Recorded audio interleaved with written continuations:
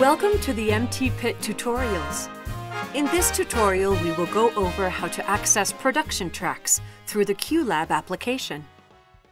The MT Pit QLab application can be downloaded from macapp.themtpit.com. Please note, this application requires a Mac computer running Yosemite 10.10 or later, and a basic knowledge of the QLab application. Once on the website, click Download.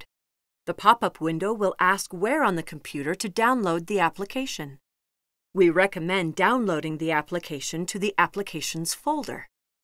Once a folder is selected, click Save, and the application will begin downloading. Once downloaded, unzip the file by double-clicking the icon. Open the MT Pit application. If this message appears, select Open. Enter in your personal username and password on the login page. If you have created a personal account previously but cannot remember it, please select one of the retrieval options and follow the steps requested. To create a personal account, press Create a Personal Account at the bottom of the login page. Fill in the requested information and press Sign Up at the bottom of the screen. To access rehearsal tracks, click Add Code and enter the rehearsal code sent to your organization admin. To access production tracks, first ensure that you are signed in on your device with the personal username. Next, navigate to the organization dashboard at dashboard.themtpit.com. Log in with the organization's credentials. These credentials were emailed to the admin when the organization was first created. Once logged in, click on the show's title.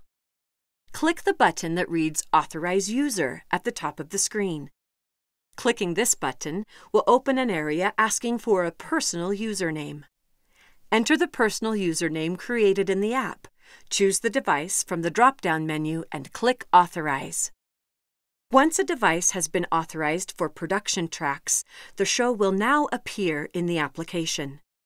If the show does not appear immediately after authorizing, press the refresh button in the top corner.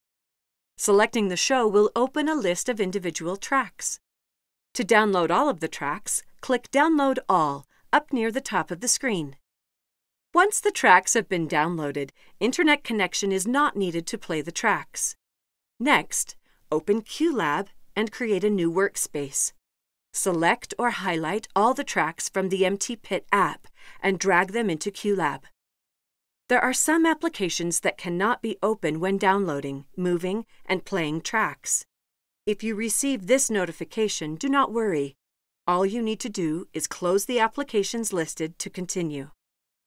Once the tracks have been moved to QLab, the tracks can be manipulated in QLab as if it were a regular audio file. Please note, the MT Pit application needs to be open in order for the tracks to play in QLab. If you have any questions about QLab or need assistance with troubleshooting, please contact Figure 53 at www.figure53.com. This concludes the QLab application tutorial. If you have any further questions, feel free to visit our FAQ page at themtpit.com slash FAQs or reference our tutorial series. Thank you for watching and have a great show.